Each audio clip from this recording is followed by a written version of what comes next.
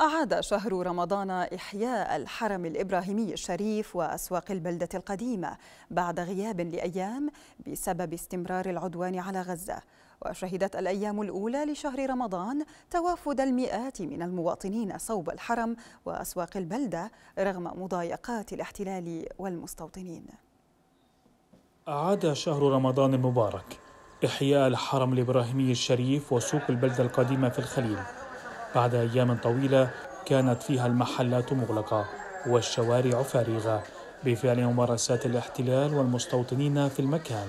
ومع بداية شهر الخير بدأ الناس بالتوافد للحرم الإبراهيمي والبلدة القديمة. الحمد لله في رمضان صار إقبال على الحرم وعلى السوق كويس. قبل رمضان كان مع الأحداث كان الناس خايفين ما يجوش عون ولا الحرم مفتوح دائما. فالحمد لله إن شاء الله دائما بضلوا هيك الناس وضل عندنا دائما الناس رايحة جاية على الحرم.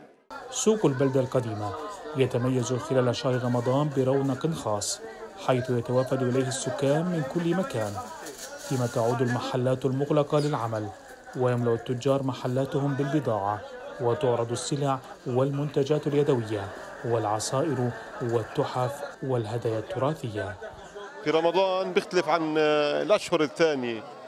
حتى السنة يعني عشان الحرب اللي كانت على غزة موجودة كان الوضع صفر يعني من مرة يعني مية لدرجة كبيرة. لكن الحمد لله في رمضان الحمد لله عادت الأجواء إن شاء الله للأحسن وللأفضل وبإذن الله بتضل يا رب وبتستمر. لكن الحمد لله رب العالمين يعني بس ما بتستمرش إلا بعد رمضان بفترة طويلة. يعني تلاقي ب 27 رمضان بعد ليلة القدر بتلاقيها بتخف وبترجع زي ما كانت. قبل شهر رمضان عانى الحرم الإبراهيمي من إجراءات احتلالية كبيرة فيما أغلقت البلدة القديمة بشكل كامل. لكن شهر الخير أعاد الحياة إليها من جديد وأعاد المصلين لأروقة الحرم بأعداد كبيرة. أعاد شهر رمضان إحياء البلدة القديمة والحرم الإبراهيمي الشريف. الأهالي يتوافدون هنا بأعداد كبيرة بعد أيام طويلة من إغلاق المحلات وإجراءات الاحتلال. للحد من الوصول للصلاة في المسجد. من البلدة القديمة في محافظة الخليل محمد العدم رؤية